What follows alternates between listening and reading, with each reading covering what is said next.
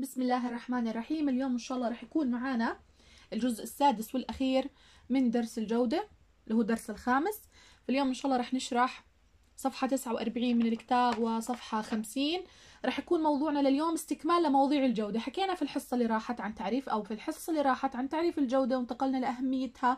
بعدها انتقلنا لإشي اسمه علامة الجودة وشهادة المطابقة وفرقنا فيما بينهن وخلصنا بعدها أهمية شهادة المطابقة أو أهمية الحصول على شهادة المطابقة وعلامة الجودة أو تطبيق نظام الجودة في الشغل. وحكينا انقسما على ثلاث فوائد أو على ثلاث مجموعات رئيسية اللي هي كانت فوائد للمستهلك فوائد للمنتج أو المصنع وفوائد لمين أو فوائد بشكل عام أو سميناها فوائد عامة. فاليوم رح نحكي عن الآيزو. إيش هو الآيزو؟ وشو بفرق عن علامة الجودة؟ وشو بفرق عن شهادة المطابقة؟ شو يعني الآيزو؟ تمام؟ شو اختصاره؟ من وين إجت تسميته؟ تمام؟ إيش أهميته أو أهدافه؟ طبعا لاحظوا إنه في فرق بين أهمية الآيزو أو أهداف الآيزو وأهمية وأهداف علامة الجودة وقلنا ركزوا عليهن. راح نشوف كمان فئات الآيزو.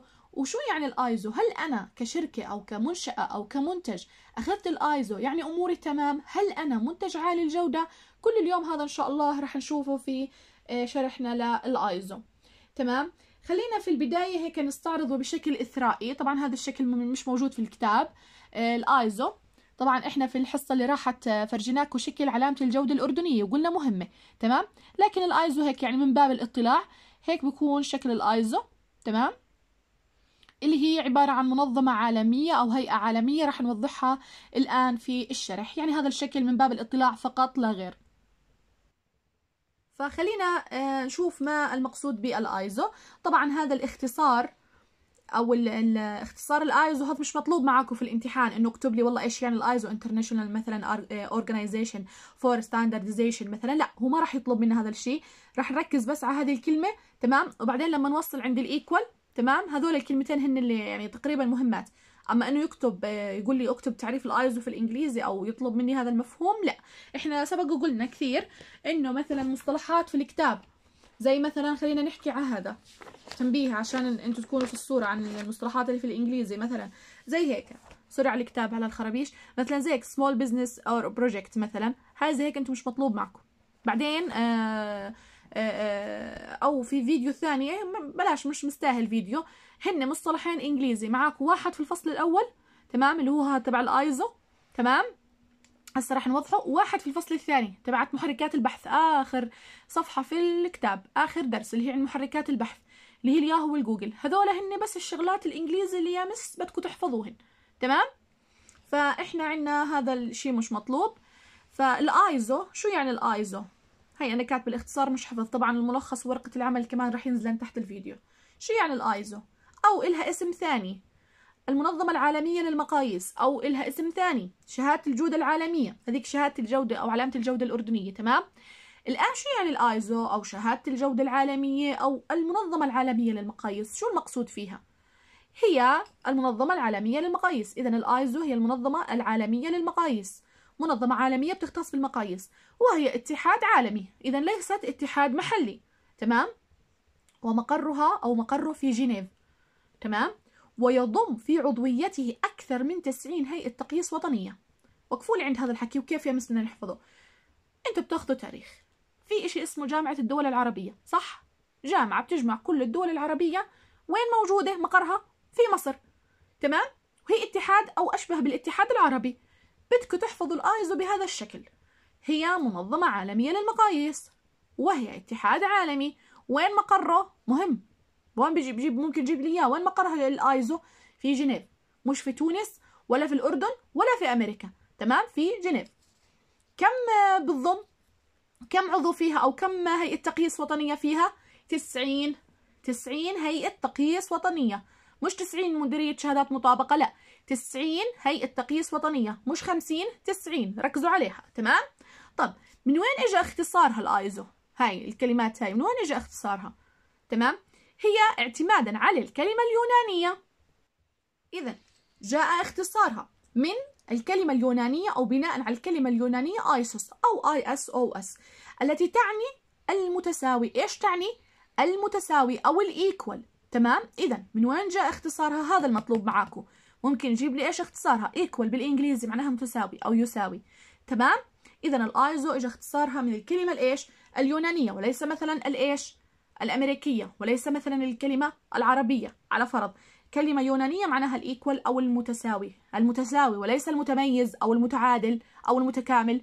تمام؟ ركزوا عليه.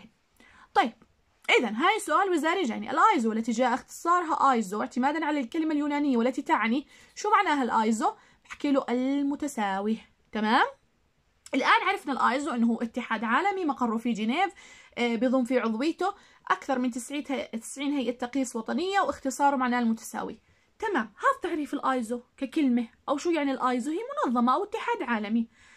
إيش أهميته أو أهدافه؟ يا miss انت حكيتي لنا هذيك المرة إنه أهداف علامة الجودة فبدنا نخربط. ركزوا لي الآن. الآيزو بدنا نتعرف في البداية إنه هي ما بتيجي بس بشكل مباشر على الجودة ومنتجات آه، آه، المنتجات وجودتها بشكل مباشر. هي إلها دخل في الجودة بس أكثر إشي يمس تعنى في النظام الإداري في الأمور الإدارية أو في الأنظمة الإدارية أو في الناحية الإدارية. فالآيزو يمس الفرق بينها وبين علامة الجودة هذيك في الأردن هذه في وين؟ عالمية تمام؟ يعني تعطى على مستوى عالمي. تمام؟ لأكثر من دولة. وشغلها بيختص أكثر إشي في نظام الإدارة. ها؟ ركزوا. الآيزو. شو الفرق بينه وبين علامة الجودة؟ هاي عالمية وتعنى أكثر إشي في نظام الإدارة. علامة الجودة بتعطي الثقة بالمنتجات الأردنية وبتعطي إيش؟ حماية مستهلك تمام؟ لكن الآيزو هي هدفها أو أهميتها وضع نظام إداري وقائي محدد لمنع حالات عدم المطابقة. يعني بتختص بعدم المطابقة بس من ناحية إدارية. بتروح بتدور على وين في شغلات ما فيها عدم مطابقة و يعني بتكتشفها. بس على أي ناحية؟ على ناحية إدارية. يعني ما بتروح على المنتجات بشكل مباشر أو بحد ذاتها لا. بتروح على الإدارة تبعت هذه المنتجات. على نفس الإدارة أو أنظمة الإدارة. ويشمل على جميع الشروط والضوابط اللي لازم تتوافر في المؤسسات. إذا هي بتروح على أنظمة هذه المؤسسات أو الأنظمة الإدارية للمؤسسات. اللي عشان من خلالها تضمن الجودة وكفاءة أداء الأنشطة والعمليات اللي من خلالها بصير تأثير على الجودة تبعت السلعة أو الخدمة. يعني هي ما بت يعني ما بتجي بشكل مباشر على جودة السلعة أو الخدمة لا. بتعنى بنظام إداري تمام؟ اللي بيمنع حالات عدم المطابقة تمام؟ ومن خلاله بتوفر الشروط والضوابط بس لمين؟ للمؤسسات اللي من خلالها بتضمن جودة وكفاءة مين بس؟ أي شيء أي شو بتضمن إيش؟ أداء الأنشطة. يعني هي بتشتغل على ناحية إدارية. تمام؟ اللي من خلالها بتأثر على جودة السلعة أو الخدمة. وبشكل يفضي كاتبين في الكتاب يفضي أي بمعنى أنه يصل لمنتج مطابق للمتطلبات المحددة. يعني بالنهاية كل هاي الأمور والعمليات والإجراءات الإدارية والأنشطة والنظام الإداري كله بالنهاية بيأثر في جودة السلعة أو بوصلني لمنتج مطابق للمتطلبات المحددة. يعني هي ما بتيجي بتأثر بشكل مباشر على المنتج وعلى المتط... على جودة المنتج أو السلع لا. هي إدارة بتشتغل على ناحية إدارية على شروط ضوابط كفاءة أداء أنشطة وعمليات اللي كله بدوره بيأثر على الجودة تبعت السلعة أو بوصلني بالنهاية لمنتج مطابق للمتطلبات المحددة. نرجع نثبت. أهداف الآيزو أو أهمية الآيزو وضع نظام إداري وقائي محدد عشان تمنع حالات عدم المطابقة. هذا النظام بيشمل على شروط وضوابط لازم المؤسسات توفرها عشان تضمن جودة وكفاءة أداء الأنشطة والعمليات اللي بدورها بتأثر وين؟ على السلع أو الخدم الخدمات. وبشكل يفضي أو مشان وبالنهاية إحنا نصل من خلال هالأنشطة والعمليات تمام؟ لمنتج مطابق للمتطلبات المحددة تمام؟ هذا عنا إذا تعرفنا على الآيزو وتعرفنا على أهداف الآيزو. عرفنا أول إنه الآيزو هي منظمة عالمية تمام؟ آه وهي شهادة جودة عالمية. طب مين الاسم الجهة المعنية اللي بتطلع لي هاي الآيزو؟ تمام؟ إحنا عرفنا إنه مقرها في جنيف وجواتها 90 آه، هيئة تقييس وطنية أو في عضويتها هي آه، أكثر من 90 هيئة تقييس وطنية تمام؟ مين الجهة المعنية بتطلع لي شهادات الآيزو؟ متى صدرت؟ متى طلعت هالشهادات؟ متى بلشوا يشتغلوا فيها؟ تمام؟ إذا أذكر أو حدد اسم الجهة أو الهيئة التي تصدر شهادات الآيزو. هاي ممكن يجيب لي إياها. وفي أي عام أصدرت به شهادات الآيزو؟ متى طلعت الشهادات؟ أو في أي عام صدرت الآيزو؟ ممكن يحكي لي متى طلعت الآيزو؟ أو في أي عام أصدرت الهيئة الدولية للمواصفات شهادات الآيزو؟ اللي هي شهادات التسعة آلاف بسموها فئة التسعة آلاف. مين اللي أصدرها؟ هاي كلها أكثر من صيغة إلها جواب واحد. بحكي له بشكل عام الآيزو بلشت تطلع أو طلعت أو صدرت أو بينت عنا في العالم في 1987 لا تخربطوا مش 1978 لا ممكن يخربطونا. إذا طلعت الآيزو في 1987 مين الجهة المعنية عن إصدارها أو اللي طلعت لي إياها؟ واحدة اسمها الهيئة الدولية للمواصفات. إذا أصدرت الهيئة الدولية للمواصفات مجموعة شهادات الآيزو أي فئة؟ التسعة آلاف. تمام؟ مش الثمانية آلاف مثلا. فهذا جدا مهم. ممكن يجيب لي متى طلعت؟ تمام؟ ومين الجهة المعنية أو اللي بتطلع لي هالشهادات أو بتصدرهن؟ طيب ممكن يحكي لي. هذول شهادات. إذا في أكثر من شهادة. إذا عرف مجموعة شهادات الآيزو. أو عرف الآيزو التسعة آلاف. ما قال الآيزو لحالها لا. آلاف أو مجموعة الآيزو التسعة آلاف أو ما هي الهيئة الدولية؟ شو هي الهيئة الدولية؟ أو ممكن يحكي لي عرف المواصفات الدولية أو عرف مجموعة الآيزو. ها في فرق بين مجموعة الآيزو أو شهادات الآيزو تمام أو الآيزو 9000 هذيك الآيزو لحالها. لما بكتب لي الآيزو لحالها بدي أعرف له إنه هي منظمة إيش؟ منظمة آه، آه، عالمية تمام؟ أو هي شهادة شهادة الجودة العالمية. اللي مقرها في جنيف وبتضم في عضويتها أكثر من 90 هيئة تقييس لكن لما بحدد لي مجموعة آيزو أو بجيب لي سيرة الشهادات أو الهيئة الدولية اللي هي بتصدرهن هذول ممكن يكون إلهن نفس الجواب. نفس الجواب تمام؟ إذا هي مواصفات بتختص بنظم إدارة المنشآت. وقفوا عندها. أول قلنا الآيزو إيش هدفه؟ وضع نظام إداري وقائي محدد. إذا نظام إداري. فإذا الآيزو بتشتغل على أي ناحية مس؟ بتشتغل على الناحية الإدارية. إذا بتحط الأنظمة الإدارية أو بسموها إدارة المنشآت أو أو المؤسسات يعني. تمام؟ إذا هذه الشهادات اللي طلعت هنا في 1987 اللي طلعتها الهيئة الدولية للمواصفات أو بقدر أعرف إنه الهيئة الدولية للمواصفات شو هي؟ إنه هي مواصفات. تمام؟ بتختص بنظام الإدارة سواء كانت هذه المنشآت تشتغل على ناحية صناعية أو خدمية. شو بتمثل هذه المواصفات؟ شو بتمثل؟ الحدود الدنيا للضوابط والقواعد الواجب الالتزام بها. يعني بتحط أدنى المعايير اللي لازم هذه المنشآت تمام؟ تطبقها زي ما بحكوها بالميتة. ما في أقل من هيك. إذا أقل من هيك أنت ما بتأخذ آيزو. فهي هذا الآيزو أو آه sorry آه مجموعة الآيزو أو الهيئة الدولية للمواصفات أو المواصفات الدولية هي بتختص في ناحية نظم إدارة المنشآت سواء صناعية أو خدمية. إيش بتمثل؟ بتحط لك الحدود الدنيا للضوابط والقواعد اللي أنت كمنشأة لازم إيش؟ تلتزم فيها. علشان إيش؟ لضمان التحكم المستمر في جودة المنتج على أو في مستوى جودة المنتج. يعني عشان أنت تكون مطبق جودة تمام؟ بالنسبة إلنا بنحط لك إحنا حدود دنيا وضوابط. إذا طبقتهن هيك أخذت الآيزو. ما طبقتهن فمعناته أنت جودتك مش ولا بد فما راح تأخذ. فهي بتحط يا زي أقل المعايير تمام؟ هاي كيف لما يدخل مثلا شخص على مسابقة يعني بدون تشبيه بس عشان تصل لكم الفكرة بيحكوا لك أنت عشان تدخل أو تترشح لهذا المسابقة أقل مثلا مسابقة آه، قراءة كتب أو مطالعة. بقول لك أقل إشي لازم يكون عمرك مثلا 18 على فرض. قارئ بما لا يقل عن 40 كتاب مثلا في مجال مثلا التاريخ أو في حقل التاريخ. فهاي أنا بحكي لك أقل ما أقل ما فيها عمرك 18 ولازم تكون أقل ما فيها قارئ 40 كتاب أقل ما فيها مثلا مترشح للمستوى الأول. مثلا هاي اسمها miss ضوابط. فالآيزو بتيجي بتحكي لك يا منشأة إذا عندك الحدود الدنيا اللي إحنا حاطينها تمام؟ أو وإطلع يعني حدود دنيا وإطلع فمعناته إنت بنقدر إحنا في هاي الحالة نعطيك. عشان ما نتوه نرجع نثبت تعريف مجموعة شهادات الايزو أو شو هي الايزو 9000 أو إيش هي الهيئة الدولية للمواصفات أو لما يحكي لي مواصفات دولية أو عرف مجموعة الايزو بحكي له هي مواصفات بس على اي ناحية بتشتغل؟ على ناحية إدارية. اذا هي مواصفات أهم شيء هاي مهمه هاي. تختص بنظم, إدارة المنشآت سواء كنت صناعية أو خدمية. هاي المواصفات بتمثل الحدود الدنيا للضوابط والقواعد الواجب الالتزام بها لضمان التحكم المستمر في جودة في مستوى جودة المنتج. تمام؟ ارجعوا ثبتوها وعيدوها. إذا هي أهم شيء تختص في نظم إدارة المنشآت وبتحط ضوابط أنت أقل شيء لازم تحققها أو تطبقها. أنا إيش كاتبة هان ملاحظة توضيحية من المعلمة يعني مني عشان الناس أحيانا بعد ما يطلعوا من الحصة يعني بينسوا الاشياء اللي كنت أنا أحكيها في الحصة. فأنا صرت أتعمد إني أحيانا مش بس أحكي لأ أثبت المعلومة اللي أنا بحكيها. تمام؟ الآيزو شيء يختص بالجودة ولكن على مستوى عالمي ودولي ويختص بالإدارة أو الناحية الإدارية أو جودة الإدارة مش جودة المنتج بحد ذاته جودة النظام الإداري أكثر إشي. تمام؟ يعني هاي هيك من باب التثبيت فهي تختص بنظم إدارة المنشآت ونظام إداري. تمام؟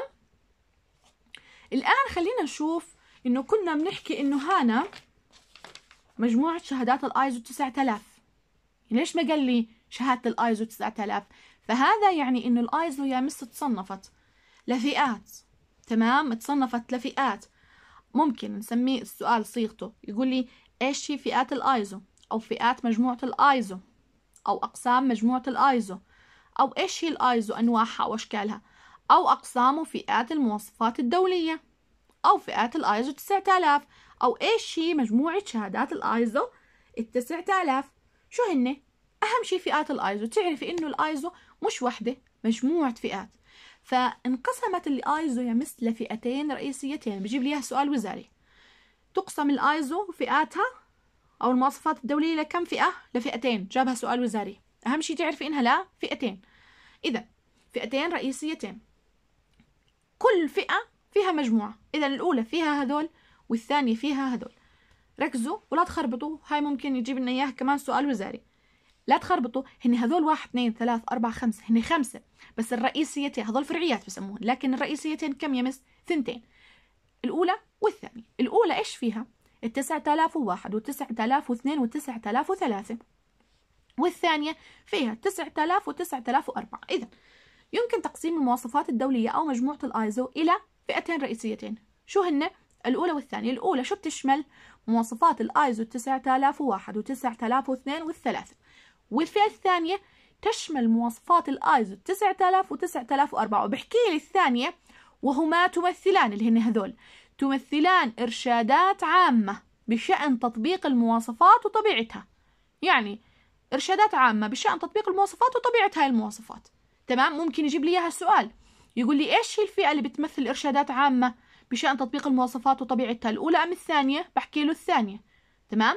وهكذا.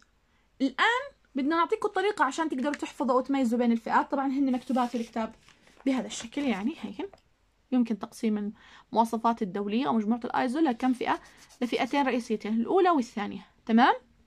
الآن تعطيكم فيديو أو بلاش الفيديو القصير اللي أنا كنت حطيته لحاله ما بعرف إذا شفتوه اللي هو بس إنه كيف نحفظ فئات الآيزو هيك أنا مسميته. راح أرجع أشرح لكم إياه بشكل سريع هنا. راح تقولي لي يا miss كم فئة للآيزو؟ بحكي لك أول إشي عشان لو جاب لنا إياه سؤال. عادي لو كتبتوها على المسودة وأنتم من النوع اللي بنسى عادي استخدموا المسودة في الكتابة. يعني هيك خربشوا عليها على شكل جانبي وروحوا ثبتوا على آه، آه، الماسح أو دفتر الإجابة.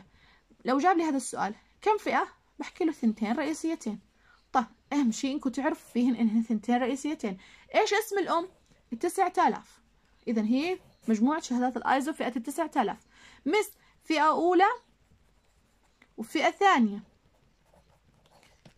طيب بدك تحطي يا مس إنه هن تحطي صفر واحد واثنين وثلاث وأربعة. مس أنت حكيتي خمسة يعني واحد اثنين ثلاث أربعة خمسة؟ لا يا مس ببلش الترميز من صفر. مش تحطي لي واحد اثنين ثلاث أربعة خمسة وتخبصي الدنيا لا. هن كم؟ واحد واثنين وثلاثة والصفر والأربعة. إذا الترميز ببلش صفر واحد اثنين ثلاث أربعة. فبحكي هيك. طبعا أنا حطيته في فيديو منفصل بحكي لكم للناس اللي بتحب تشوفه بشكل سريع لكن أنا راح أرجع أشرحه إن شاء الله هنا لأنه من ضمن الدرس. فهيني بحكي لك هيك يا مس. طب مين الأولى ومين الثانية؟ بجي بحكي لك بلش الأولى عدي لها. واحد واثنين وثلاث. طب والفئة الثانية إذا هي واحد واثنين وثلاث. الفئة الثانية شو راح يكون فيها؟ تسعة آلاف وتسعة آلاف وأربعة. كم وحدة؟ واحد اثنين ثلاث أربعة خمس. هن خمس فرعيات لكن الرئيسيتين كم؟ ثنتين. يعني إن شاء الله بتمنى أن تكون هذه الطريقة فادتكم في حفظ وتثبيت فئات الآيزو. إذا عندنا فئتين رئيسيتين. الأولى والثانية فيها واحد واثنين وثلاثة وهاي فيها تسعة آلاف والأربعة وقلنا هاي الفئة الثانية هي بتمثل إرشادات عامة بشأن تطبيق المواصفات وطبيعتها. هيني أنا حاطة مفاتيح الحفظ فيديو قصير تابع فيديو اليوتيوب. تمام؟ هم عددهم كلهم خمسة. عددهم تمام كلهم خمسة. هلا أنا مخربطة. صفر واحد اثنين. تمام؟ هذولا. هيك رح يكون التعديل إن شاء الله. تمام؟ مشان ما تنسوا هن كلهن عددهن خمسة هي واحد اثنين ثلاث أربعة خمسة لكن الترميز ببلش من صفر زي ما قلنا هنا. تمام؟ وبلشوا حطي واحد واثنين ثلاث في الفئة الأولى والصفر والأربعة حطيهن في الفئة الثانية وقلنا حطي هذه ممكن نجيب ليها سؤال. هيك إن شاء الله بنكون خلصنا فئات الآيزو أو أقسام وأنواع الآيزو. تمام؟ هذول ضروري تثبتوهم فئات الآيزو ممكن يجيب لي سؤال منهم. شفتوا هالتنوع؟ واحد واثنين وثلاثة وأربعة اللي هن أصلا فئتين رئيسيتين منقسما. هذا يا miss اسمه تنوع. إذا لو جيب لي فئات الآيزو متنوعة بحكي له نعم تنوعت. إذا تنوع فئات الآيزو جعلها إيش؟ يعني شو شو يعني هذا التنوع شو سوالي بقول لي جعل هذا التنوع أو تنوع فئات الآيزو جعلها ملائمة لمختلف القطاعات والخدمات. ناس باخذ الواحد وناس باخذ التسعة آلاف وناس باخذ آلاف وأربعة. هذا يعني إنه الآيزو ما بتشتغل بس على قطاع واحد. زي ما قلنا أول إنه والله بس تسعة آلاف. قلنا مجموعة شهادات الآيزو تسعة آلاف. وانشقن لفئتين والفئتين كل واحدة تفرعت. فهذا التنوع إيش ماله؟ خلاها ملائمة يا miss لمختلف القطاعات والخدمات. ممكن يجيب لي إياها أنا كاتبها صح وغلط. تنوعت فئات الآيزو نعم. تنوع فئات الآيزو جعلها ملائمة لمختلف القطاعات والخدمات. بحكي له آه. تمام؟ لا يوجد تنوع في فئات الآيزو بحكي له غلط. لا عندنا تنوع. عندنا واحد واثنين وثلاثة وأربعة. تمام؟ إلى آخره.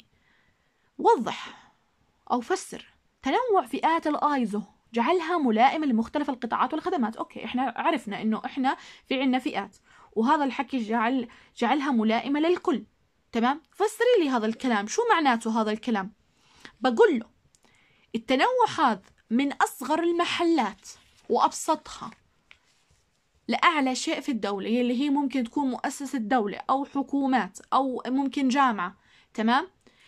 ف أو حتى ممكن تكون وزارة مثلا. فهذا التنوع يامس جعلها ملائمة لأغلب أو مختلف القطاعات والخدمات من خلال أنه بدءا بالمحال التجارية يعني أبسط المحلات اللي ما بتجاوز عدد العاملين فيها شخصين وصولا لمستويات عليا بما فيها الحكومات ومؤسسات الدول. هذول كلهم بيقدروا ياخذوا الآيزو. تخيلي كيف يمس التنوع اللي شفناه التنوع الواحد 9001 9002 هيك أي ناس بيجي بيقدر يأخذ أي بقالة ولا أي جامعة بتجي بتقدر تأخذ؟ لا. بحكي لك إذا التزمت بالمعايير المطلوبة اللي أول قلنا كانوا حاطينها هنا اللي هي الضوابط إذا بترجعوا بتتذكروها. إذا التزموا بالحد الأدنى للضوابط يعني ما ينزلوا عن عن الحد هذا معناته هم بيقدروا يأخذوا هاي الشهادة. إذا ممكن تجيب ليها سؤال. تنوع فئات الآيزو جعلها ملائمة؟ نعم في تنوع. كيف؟ بقول له بدءا بالمحال التجارية التي لا يتجاوز عدد العاملين فيها عن اثنين وصولا لمستويات عليا بما فيها الحكومات ومؤسسات الدول كلهم هذول بيقدروا يأخذوا أو يحصلوا على إحدى شهادات الايزو اللي قلنا عنهن اللي أول هذولا تمام؟ لكن إذا في أي حالة التزموا بالمعايير المطلوبة وطبقوها فعلا. إذا في الايزو حكر على ناس هيني أنا كاتبيتها. توضيح للكلام السابق الصفحة اللي بعدها حطيت لكم إياها. يعني أي حد ملتزم ومطبق المعايير ممكن يحصل على شهادة الآيزو وبالتالي الآيزو ليست حكرا على منظمة أو مشروع أو منشأة أو حتى جهة معينة. شو ما كان بيشتغل شو ما كان حجمه وشكله. ما إحنا قلنا من أصغر ال الأشياء اللي هي المحلات التجارية لأكبر المستويات. أو أعلى المستويات. كلهم هذول بياخذوا الآيزو بس ما دام ما ماله ما دام ملتزم بالمعايير يعني بيقدر ياخذ هالشهادة. إذا طبق المعايير أخذها شو ما كان حجمه وشكله ونوعه أو شغله أو طبيعة عمله. فالآيزو ليست حكرا تمام؟ والتنوع هذا يمس ما اجى هيك عبث تمام؟ الآيزو لما حطت هالشهادات حكت أنا بدي أنصف الكل. من أصغر المستويات لاعلاها طول ما انت مطبق وملتزم بالمعايير قلت لك خذ هذه الشهادة وعلقها عندك في شغلك. أحيانا ممكن ما بعرف إذا كنت تشوفه إنه والله هذه حائز على أو حاصل على شهادة الآيزو أو ممكن تشوفيها على بعض المنتجات. شفتوا الرسمة اللي فرجيتكم إياها في بداية الحصة؟ أحيانا ممكن تشوفيها على بعض المنتجات حاصل على شهادة الجودة العالمية أو أحيانا إذا فتها مش بس كمان منتج تمام؟ ال ال ال الإدارة. إذا فتت على مبنى أو دائرة ما بعرف إذا ممكن تشوفوا آه أنا كنت في جامعة اسمها الشرق الأوسط تمام؟ كان في كانوا مشاركين في آه إشي بخص الجودة جودة التعليم تمام؟ فكان عندهم هذه الجائزة أو هذه الشهادة كانوا ماخذينها. فهذا يعني هي جودة تعليم يعني مش منتج هو بالنهاية. بس هو الأغلب الآيزو زي ما حكينا قلنا بتختص بالإدارة أو إدارة هالمنشآت تمام؟ فإذا وبالتالي لا توجد حدود أو مدى للمؤسسات والهيئات التي ترغب في الحصول على شهادة الآيزو. إذا ممكن تجيب لي إياها صح وغلط. يوجد حدود؟ لا. قلنا أي حدا بيقدر ياخذها طول ما هو ملتزم ومطبق المعايير. إذا هذا الحكي والتنوع تمام؟ خلاه انه لا توجد حدود أو مدى. يعني ما فيش بس والله أنتوا لازم تأخذوا أو بس المستويات العليا لازم تأخذ الآيزو. لا. بقول له لا توجد. هاي ممكن يخربطني فيها في صح وغلط. توجد حدود أو مدى للناس اللي بدهم ياخذوا الآيزو؟ بقول له لا لا توجد حدود أو مدى للمؤسسات والهيئات اللي بدها تاخذ الآيزو أو تحصل على الآيزو. بدءا بالمحال التجارية وصولا لمستويات عليا. هذول بياخذوا هذول بياخذوا. طول ما هم متفقين أو ملتزمين بالمعايير. طبعا أنا حبيت أحط المعلومة كما هي مكتوبة في الكتاب يعني زي ما بحكوها على أساس إنه الناس تشوفها زي ما هي. ممكن ناس يتوه مثلا إذا هي المعلومة كاملة في الكتاب زي ما هي في الكتاب حطيت لكم إياها يعني بدون إنه صيغة سؤال جواب على أساس إذا أنتم بتحبوا تشوفوها.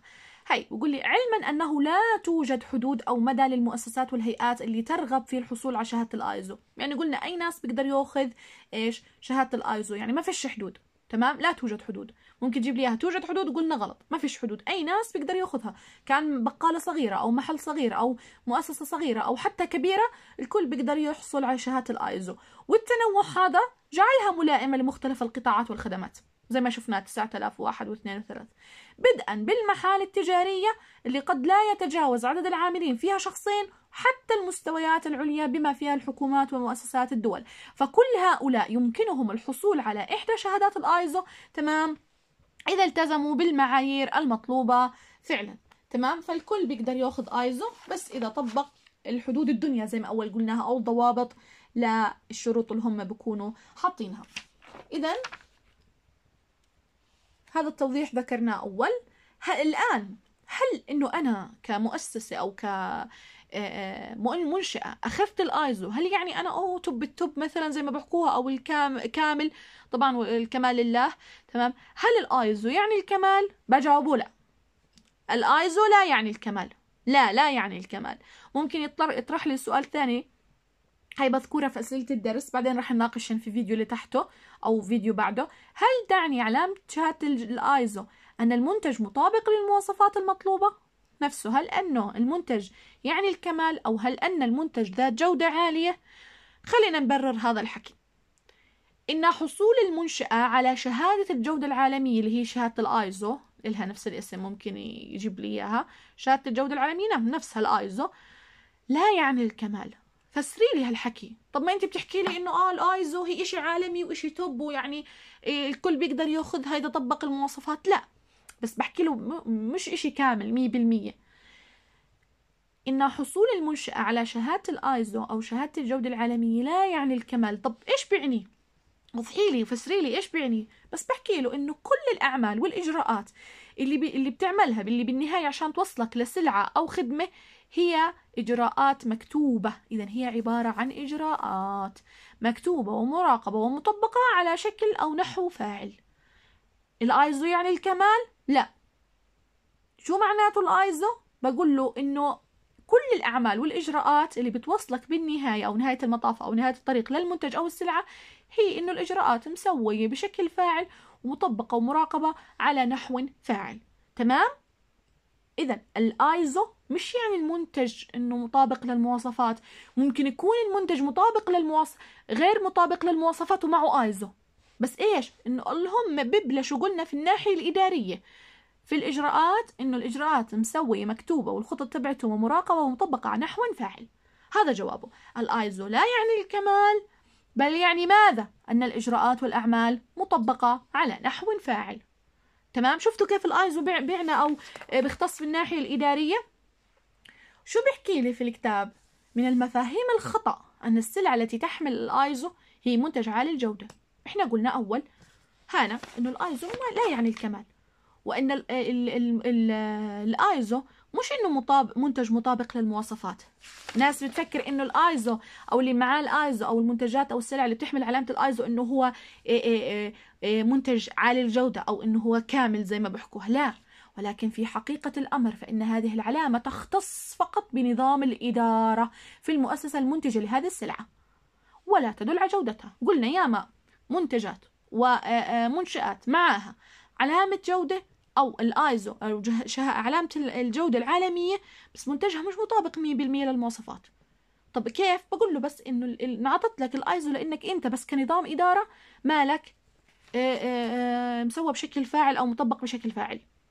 اذا الآيزو لا يعني أن المنتج عالي الجودة وحصول المنشأة على شهادة الجودة العالمية لا يعني الكمال والآيزو لا يدل على جودة المنتج. تمام؟ وأن الآيزو هو نظام إدارة فقط.